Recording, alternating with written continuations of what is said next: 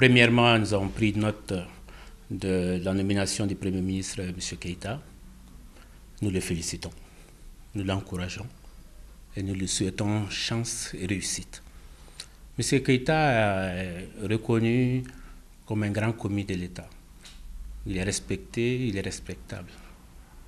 Il a fait preuve d'humilité et d'esprit républicain en allant rendre une visite de courtoisie à l'opposition et nous l'en remercions.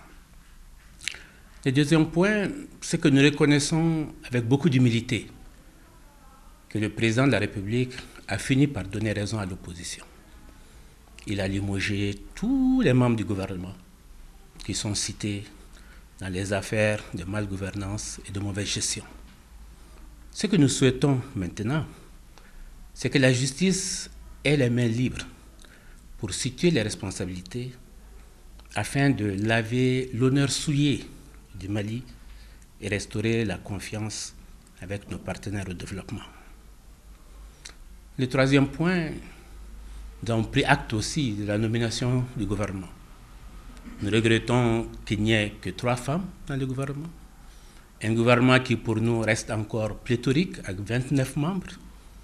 Un gouvernement qu'on dit de combat. Comment ce gouvernement peut-il gagner le combat avec 23 membres du gouvernement qui sont reconduits, avec trois membres du gouvernement qui viennent des régimes passés, ce qui fait 26. Il n'y a que trois nouvelles personnalités et surtout pratiquement 100 femmes. Ça m'étonne que ce gouvernement puisse gagner des combats. Maintenant, ce que nous souhaitons, c'est qu'un véritable combat soit engagé contre l'insécurité, contre l'impunité, contre la corruption, contre la malgouvernance, contre le favoritisme dans la fonction publique des services de l'État, contre aussi le manque d'accès aux médias d'État, le favoritisme qui consiste à discriminer pour l'accès aux différents médias d'État.